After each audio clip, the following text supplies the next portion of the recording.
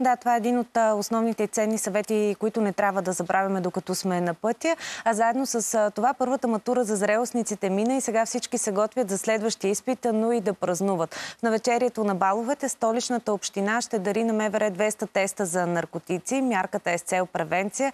Какви други стъпки за безопасност предприемат органите на реда? Включваме на живо сега главен инспектор Мария Ботева, за да ни каже повече. Добро утро! Добро утро, добро утро на зрителите.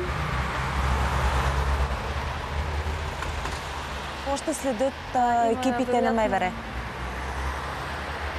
А, това, което продължаваме да правим по време на баловете, е всъщност да подпомагаме а, предвижването на колоните, там където има получени заявки на територията на цялата страна, че се очаква по-голям трафик от абитуриенти и придружаващи ги. Грижим се за изобщо осигуряване на обществения ред, но най-вече онова, което е в рамките на нашите правомощия, в рамките на нашите компетенции, продължаваме да се грижим за безопасността на движението в това число влиза контролиране, освен, разбира се, на скоростните режими, което, освен с стационарните и с всички останали свои стационарно преносими уреди успяваме да правим, но обръщам внимание, че независимо, че са празници, законът продължава да действа и съответно контролните органи, които имат ангажимента да контролират спазването му, продължават да извършват и физически проверки на място, т.е. да спираме водачите на автомобили и да извършваме проверка както за наличие на алкохол и наркотични вещества или техни аналози, така и за извършването на груби нарушения, които биха могли да така е, но много доведат често до в... нарушаване безопасността на движението. Много често в така деня на бала, залисани в еуфорията, младежите забравят и за мерките за безопасност. Видяхме преди малко и кадри от шумни празненства. Свикнали сме да виждаме на кадрите как излизат от автомобилите. За какво точно ще следите и ще бъдат ли глобявани тези, които нарушават правилата? Да, практиката показва, че на всички места, на които се провеждат балове, тази еуфория не може да бъде в момента преодоляна от самите млади хора, независимо от всички съвети, които учители, родители, съответно органи на реда им дават. Най-честото нарушение по време на баловете, конкретно от абитуриентите, е, че те се показват през отворите на автомобилите, с които се превозват. Съответно, превишават броя на местата в автомобилите. Не използват, разбира се, всички можем да го проумеем това, обезопасителните системи, с които превозните средства са оборудвани, но и нещо, към което бих могла да апелирам, особено през последните дни. Ние непрекъснато органите на пътна полиция го правим, че особено когато тръгнат на организирани пътувания с автобуси, е задължително използването на обезопасителните системи в тези микробуси, автобуси, си тези превозни средства за по-голям брой пътници а не както много често се случва, когато видим, че има контрол на пътя, водачът да каже бързо поставете коланите, не това ще спаси животът.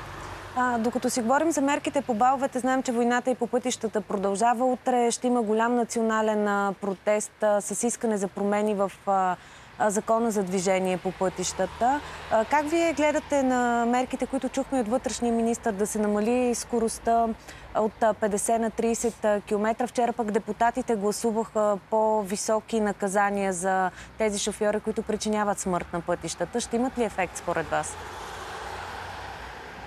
Това, което мога да кажа, че българинът е част от Европа, т.е. България е част от Европа и българина е европеец.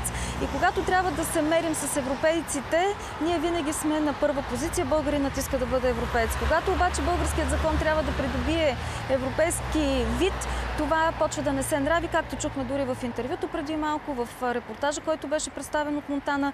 Така че тук е въпрос, както и самият инструктор каза, на възпитание, на гледна точка, но нека всички от тези, които не са били никога извън България, да пуснат а, своите а, видеа, своите телефони, да прегледат какво се случва по столиците на големите европейски държави и ако наистина сме европейци, нека да бъдем такива и в мисленето си. Визия 0 не се постига лесно. Визия 0 изисква не само да имаме самосъзнание, но и изисква и да се спазва законът. А законът трябва да се спазва такъв, защото да носи безопасност на всички. И ако... Знам, че това е цел специално визия... част Да. А, само а, с информация говорите за това доколко са дисциплинирани а, шофьорите. Какво показват а, данните за последната нощ? Колко нарушения сте засякли? Има ли фрапантни от тях? Аз бих искала само да кажа по отношение на абитуриентите за малко да се върна, защото мисля, че тях малко повече ги интересува, че само за миналата година повече от 570 случая на нарушения, извършени от абитуриенти, са, са регистрирани, взето е отношение, а по отношение на изминалата нощ остава още малко време за да се обработят резултатите. Не бих могла да ги цитирам в момента, но те не са по-различни от предишната, от предишната, т.е. нарушителите по отношение на скоростните режими са като брой един и същи, но по-неприятното е, че настъпват и пътно-транспортни происшествия.